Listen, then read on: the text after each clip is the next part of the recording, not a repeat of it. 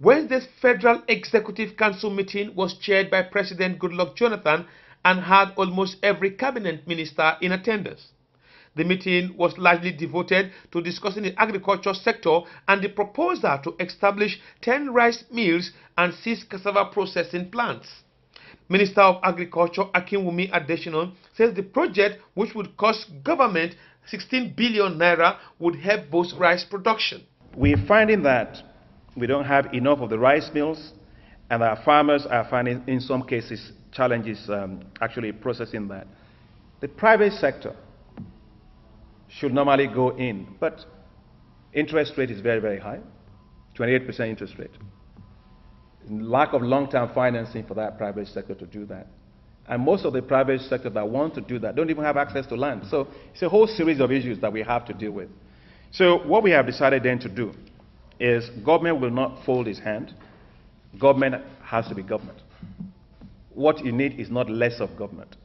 You need more of government doing the right things. And so we decided that government has to play a role, which is government enabled, private sector led transformation. The Minister of State for Power, Mohammed Wakil, also briefed on Council's approval to purchase a 1 by 5033 kVA transformer for a substation in Maiduguri to help boost power supply in Borno State. With this, it will give room for opening of a new corridor for the expansion in future. And it is going to complement the existing power supply in Maiduguri, and by extension, it's going to boost you know, businesses like the small businesses, SME, and others. Uh, if you can recall, in my last briefing here last week, I did say that uh, expansion of transition is ongoing. The president has given us that marching order.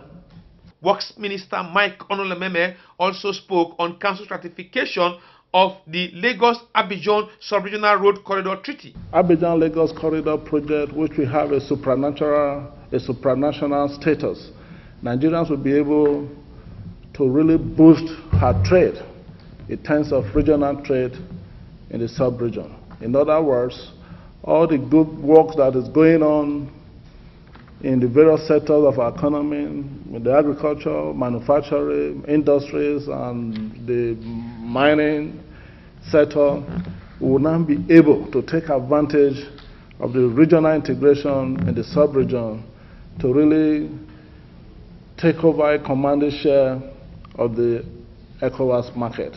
The road corridor is aimed at linking countries in West Africa to boost trade and international relations. From the Aso Rock Presidential Villa, I am Iharo Ata, ITV News, Abuja.